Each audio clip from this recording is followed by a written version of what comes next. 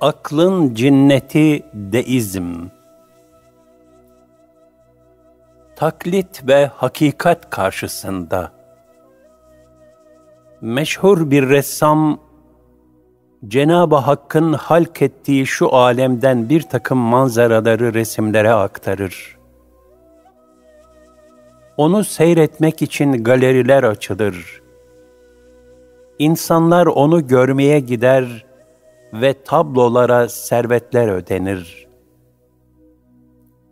Ressam da ne büyük sanatkar diye takdir edilir. Halbuki gerçek sanatkar, ressamı da yaratan, onun bu resimleri yaparken baktığı hakiki manzaraları da yaratan, Cenab-ı Hakk'ın ilahi azamet ve kudretidir.'' Gerçek sanatkar, insanı ve Allah Resulü'nü yaratan yüce Halikimizdir. Bu itibarla arif gönüller, kudret ve azamet fırçasının eseri olan, gün boyunca her saniye ufuk ufuk değişen, muazzam ve hakiki tablolara hayranlığını hiç kaybetmeden nazar ederler.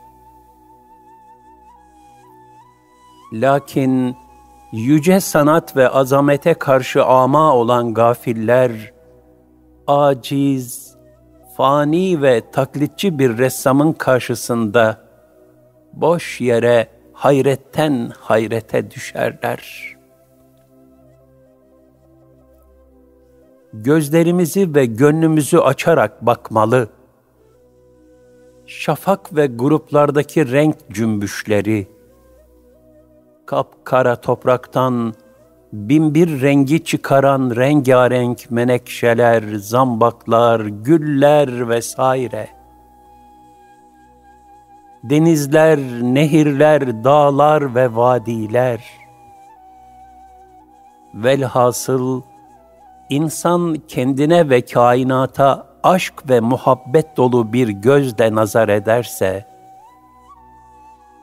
ilahi heybet ve harikaların hayreti içinde kalmaması imkansızdır. Necip Fazıl gaflet ehline şöyle seslenir. Yön yön yarılmışım ne yana baksam, sarılan olur da saran olmaz mı?'' Kim bu yüzü çizen sanatkar ressam?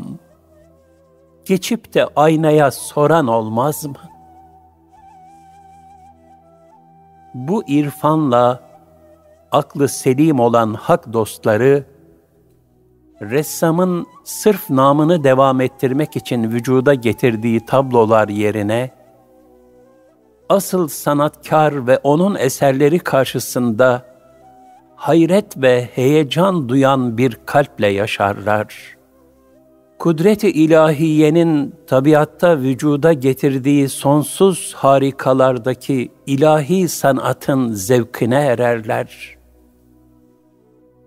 Sermayesi aynı toprak olan bitkilerin rengarenk yaprak ve çiçeklerine, bunlardaki menevişlere, ağaçların renk, koku, lezzet ve şekilde sonsuz farklılık arz eden meyvelerine,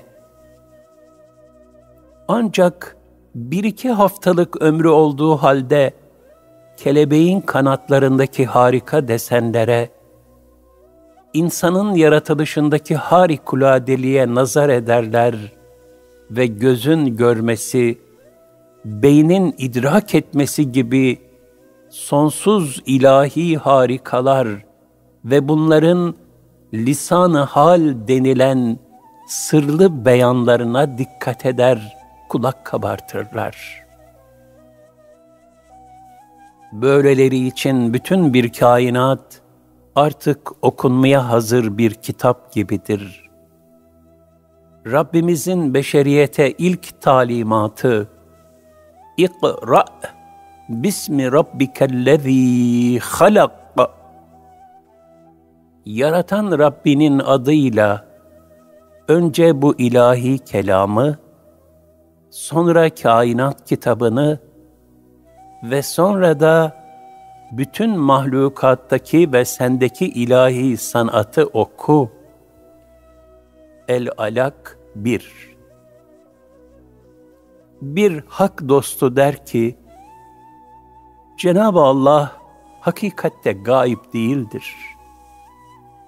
Ancak bizim beşeri istidat ve idrakimiz açısından zuhurunun şiddetinden gizlidir. Cenab-ı Hak her şeyde zuhur eden ilahi azamet ve kudret tecellilerinin sahibidir, sanatkarıdır.